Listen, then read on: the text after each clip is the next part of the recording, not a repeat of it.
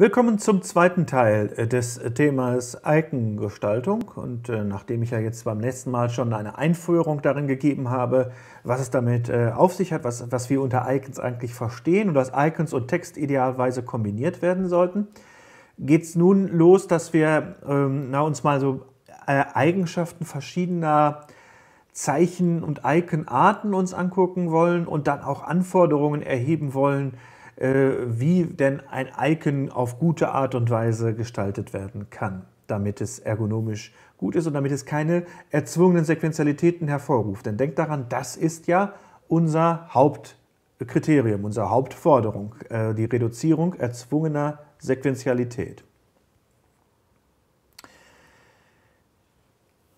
Wir müssen zunächst mal zwei Begrifflichkeiten einführen und auch vor allen Dingen auseinanderhalten können. Äh, und zwar geht es um arbiträre Zeichen und um bildhafte Zeichen. Die stehen sich äh, größtenteils entgegen. Nicht ganz, wir werden gleich sehen, dass es noch ein bisschen komplex, komplizierter ist. Aber äh, die äh, Bildhaftigkeit vor allen Dingen ist etwas, auf das wir sehr, sehr stark noch zu sprechen kommen. Fangen wir aber mit, der, mit arbiträr an. Was heißt arbiträr? Arbiträr heißt willkürlich. Und ähm, arbiträre Zeichen sind also willkürliche Zeichen. Willkürlich bedeutet in diesem Fall, dass äh, es Zeichen sind, die mit dem, wofür sie stehen, nichts zu tun haben. Und solche Zeichen gibt es viele, also ein ganz großer Teil unserer äh, Schrift- und äh, Schriftkultur besteht aus äh, arbiträren Zeichen die nichts mit dem zu tun haben, wofür sie stehen. Also alle die Beispiele, die hier stehen, das, äh, dieses Paragraphenzeichen, dieses geschwungene Zeichen, eine 5, ein Unzeichen, äh, männlich, weiblich, diese Zeichen, alle Buchstaben, alle Ziffern, das sind alles solche arbiträren Zeichen. Die äh, zeichnen sich dadurch aus, arbiträre Zeichen, dass sie erst einmal nichts abbilden und ähm, dass äh, man sie beliebig auch vertauschen könnte. Also, ähm, wenn ich euch jetzt sagen würde, wir ändern jetzt die Buchstaben in unserer deutschen Sprache und anstatt ein A benutzen wir immer ein Ö und umgekehrt, dann hättet ihr damit eigentlich gar kein Problem. Natürlich äh, würde eure Gewohnheit äh, erstmal für Schwierigkeiten sorgen, aber diese beiden Zeichen zu vertauschen, ist völlig unkritisch. Das heißt, das sind arbiträre Zeichen an dieser Stelle. Äh, da rechts auf der Seite sehen wir auch zwei arbiträre Zeichen, die vielleicht die von euch kennen, die äh, Polen sind oder die schon mal sehr häufig in Polen gewesen sind. Denn was bedeuten diese beiden Zeichen? Äh, kann ich es dem Zeichen irgendwie ansehen, wofür es steht? Nein, ne, das ist einfach ein Kreis und ein Dreieck. Ähm, hat das Zeichen Ähnlichkeit mit irgendetwas, wofür es stehen könnte? Wissen wir nicht, weil wir nicht wissen, wofür es steht. Aber diejenigen, von denen ich, äh, die, die ich gerade angesprochen habe, also das hat was mit Polen zu tun, diese Zeichen stehen für öffentliche Toilette. Und dann ist es so, dass, wenn ich mich nicht irre, der Kreis für männlich steht und das Rechteck, äh, Dreieck für weiblich. Vielleicht vertue ich mich aber und es ist genau umgekehrt. Kann natürlich peinlich werden. Also diese Zeichen, diese beiden Zeichen werden in äh, Polen für öffentliche Toiletten und Hinweise auf öffentliche Toiletten benutzt.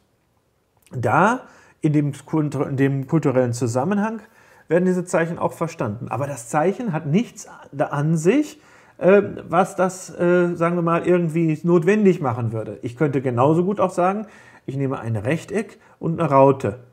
Auch das könnte für diese äh, Funktion dann stehen an dieser Stelle. Es sind also auch arbiträre Zeichen. Was ist das Schöne an diesen Zeichen hier? Sie sind sehr einfach. Also ein Kreis, ein Dreieck, Ganz einfache Zeichen. Arbiträre Zeichen haben das Potenzial, sehr einfach sein zu können. Denn äh, sie müssen ja keine Abbildung von einem komplexen Objekt oder sowas sein. Deswegen kann man sehr einfache Formen und Figuren wählen.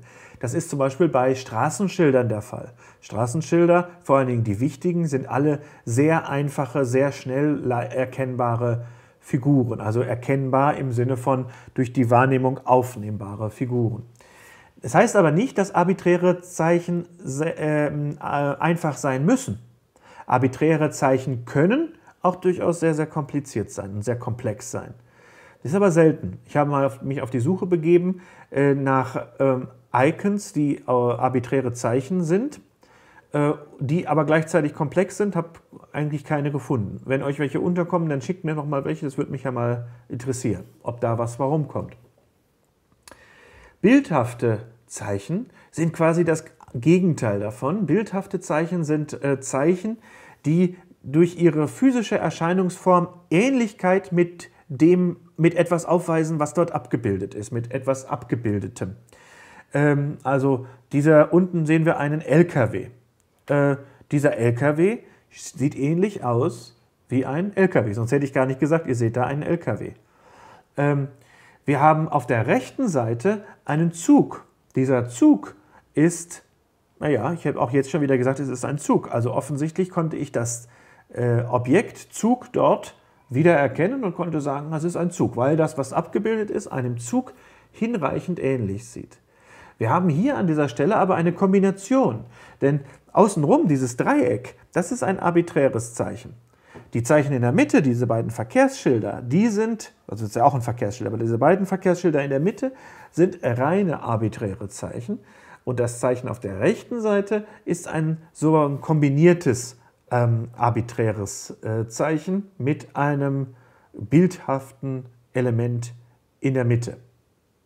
Bildhaftigkeit ist also etwas, was äh, für uns eine gewisse Wichtigkeit hat. Und bei dem Arbiträren, da unterscheiden wir gleich nochmal zwischen arbiträr und noch etwas anderem. Wichtig aber erstmal äh, bildhaftes. Ein bildhaftes Icon, ja, das bildet einen Gegenstand ab. Äh, das ist die, unsere Definition von bildhaft. Ähm, und der Vorteil ist natürlich, dass ich diesen Gegenstand dann äh, erkennen kann, wenn ich denn diesen Gegenstand überhaupt kenne. Das heißt, es kann eine Wiedererkennung an dieser Stelle stattfinden. Ich gucke da drauf und ich erkenne sofort, was das ist. Wenn wir uns unten diese äh, Skala hier mal anschauen, dann seht ihr auf der linken Seite Icons, die äh, kann man äh, nicht wiedererkennen. Äh, zumindest nicht im Sinne von, ich habe da etwas Abgebildetes direkt wiedererkannt. Das sind arbiträre Zeichen und etwas anderes noch dazu. Wie gesagt, kommen wir gleich drauf. Und jetzt gucken wir mal auf die rechte Seite rüber. Da ist ganz einfach zu sagen, was das ist. Ich sehe einen Notizblock, ich sehe einen Pylon, ich sehe eine Diskette, ich sehe eine Erdbeere. Ein bisschen komische Darstellung von oben. Ja, und dann geht es ein bisschen weiter nach links. Das sind Zeichen, die sind auch bildhaft, aber die sind ein Stück äh, abstrakter dargestellt äh, und äh, verlieren dadurch einen Teil ihrer Bildhaftigkeit. Äh, aber sind auch noch, naja, einigermaßen bildhaft. Ich erkenne eine Lupe, ich erkenne einen Briefumschlag. Jetzt haben wir noch welche, die stehen fast ganz links. Das sind zwei Icons, die sind eigentlich bildhaft, aber die Darstellung ist so komisch, dass man sie als bildhafte Icons schon fast nicht mehr erkennen kann. Was zeigt das linke der beiden Icons? Es zeigt eine Stiftspitze so eine Stiftspitze und dann ist hier quasi hier der Kreis drumherum gemalt. Das habe ich nicht erkannt. Ähm, es hat lange gedauert, bis ich das erkannt habe, dass das eine Stiftspitze sein soll. Für mich sah das immer irgendwie mehr aus wie ein Lenkrad oder sonst irgendwie. Also ich habe das nicht erkannt. Dann äh, das daneben habe ich bis, glaube ich, letztes Jahr nicht erkannt, nie erkannt, was das ist. Äh, und der Bekannte hat mir jetzt letztens noch gesagt, das ist es nie und nimmer, das könnte gar nicht sein. Aber was das wohl darstellt, ist ein Papierflieger. Und das ist ein Papierflieger so eigenartig in einer Perspektive von oben gezeichnet und so sehr vereinfacht, dass zumindest es mir nicht mehr gelang, darin einen Papierflieger zu erkennen. Das Icon dient dann zum Abschicken, also dass es wegfliegt. Diese Zeichen sind so stark abstrahiert worden, dass sie fast ins Arbiträre rutschen für mich. Denn wenn ich nicht das darauf abgebildete erkennen kann, dann bin ich eigentlich auf der linken Seite gelandet. Das Wichtige ist jetzt, ich habe jetzt mehrfach gesagt, man kann erkennen, was dort abgebildet ist.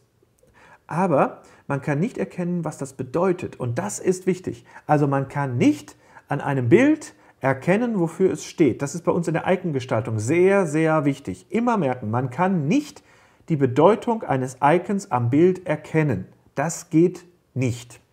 Das kann man sich gut klar machen an diesem Bild. Das hatten wir gerade schon mal, dieser LKW.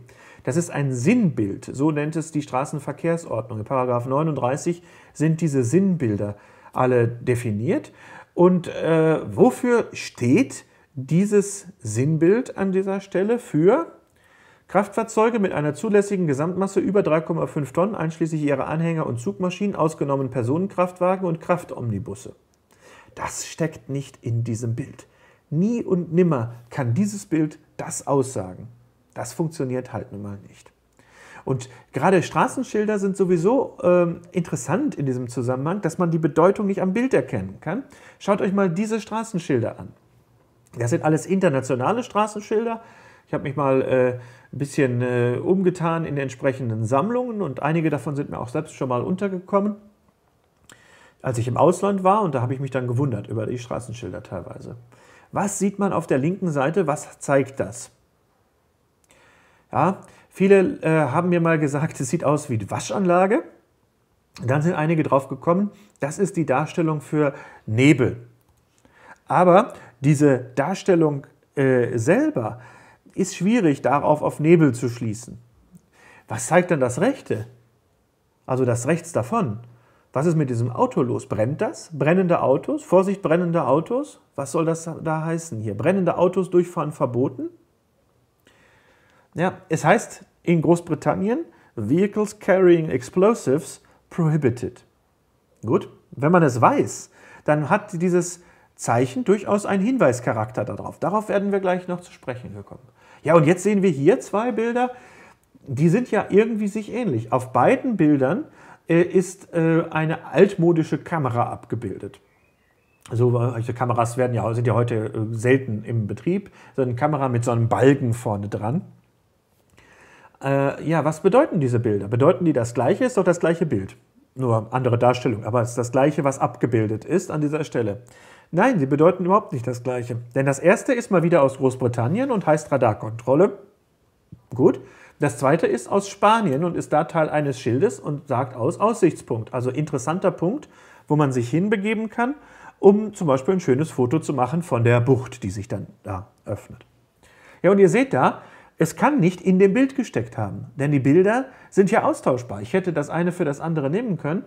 Äh, und äh, hätte damit eigentlich kein großes Problem gehabt an dieser Stelle. Die Bedeutungen sind zwei ganz andere. Die sind offensichtlich zugewiesen. Auch im User Interface kann man sich das gut klar machen. Wofür stehen diese Icons hier denn? Ähm, ja, dann sehe ich, dass offenbar häufig das gleiche Icon oder ein sehr ähnliches Icon in verschiedenen Programmen für ganz unterschiedliche Dinge steht oder zu verschiedenen Zeiten für ganz unterschiedliche Dinge stand. Guckt euch mal das erste an, da haben wir nur ein Beispiel für, aber trotz alledem äh, ist das eine interessante Sache, dass man nicht erkennen kann, wofür es steht. Eine Brille. Wofür steht die Brille? Die Brille steht in Safari, in dem Browser von Apple, für die Leseliste. Dann haben wir zweimal die Lupe. Und die Lupe sehr identisch abgebildet. Es gibt eigentlich keinen Unterschied in der Darstellung der Lupe, zumindest keinen nennenswerten, der irgendeinen Unterschied rechtfertigen würde. Die Lupe steht aber einmal für Vergrößern, hier im Photoshop, und einmal für Suchen bei Firefox. Das ist aber erstaunlich, das gleiche Zeichen. Dann habe ich zwei Pinsel.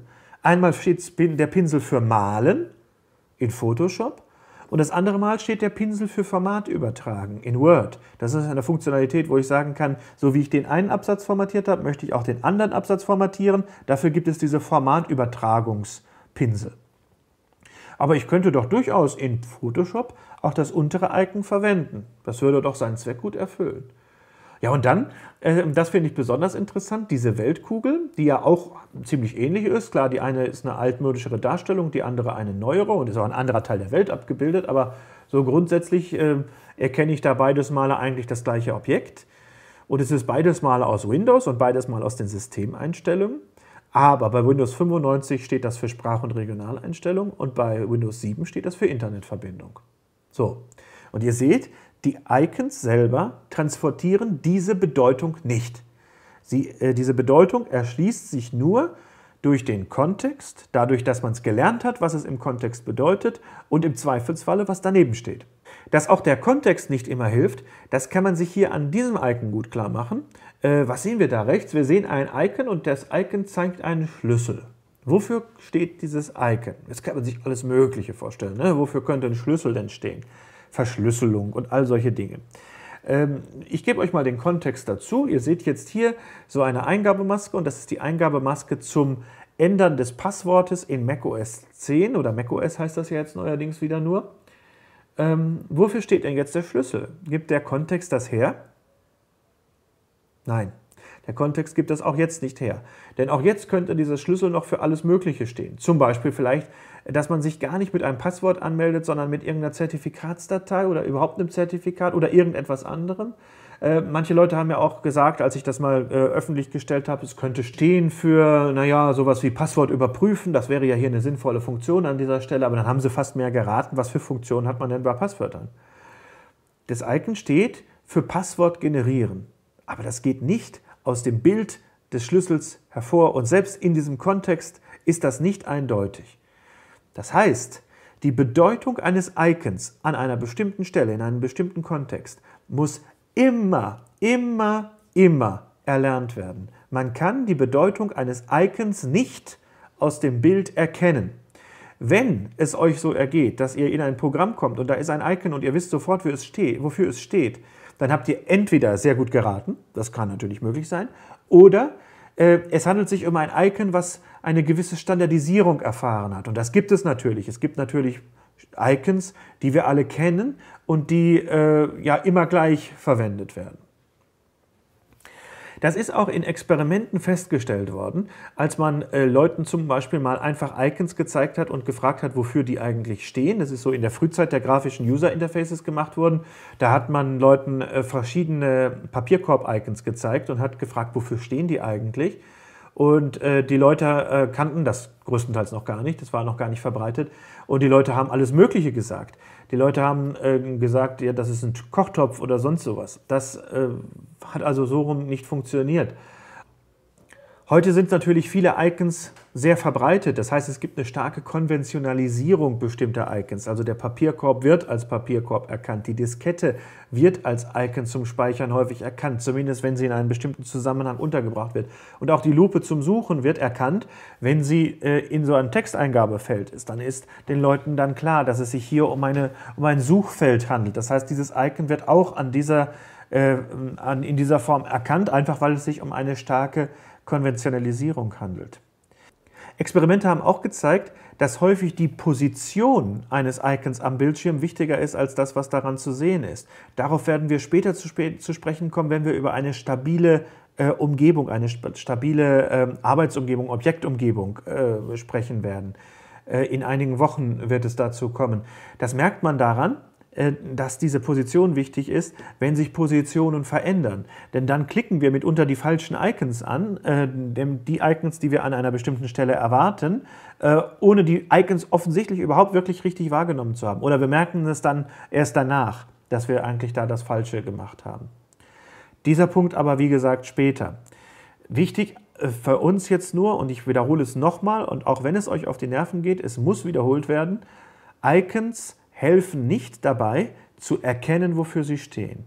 Sie entlasten beim Wiedererkennen. Beim Wiedererkennen. Das heißt, wenn ich äh, etwas hier äh, ansehe und erkenne da einen Block, einen Schreibblock, dann hilft es mir wieder zu erkennen, wofür das Ganze gestanden haben könnte. Dass das zum Beispiel die Kommentierungsfunktion ist, wäre eine Möglichkeit.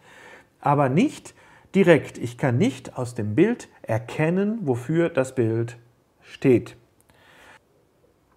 Icons sind also nicht das Allheilmittel irgendwie und äh, sind etwas, was ganz geradezu auf wundersame Art und Weise uns äh, erklären, erkennen lässt, äh, wofür die Dinge stehen. Aber sie sind natürlich eine gute Ergänzung und gerade für die Schnelligkeit dieses äh, Wahrnehmens und dann auch des Wiedererkennens gut geeignet. Aber damit das funktionieren kann, müssen Icons bestimmte Anforderungen erfüllen und um diese Anforderungen geht es im nächsten Video.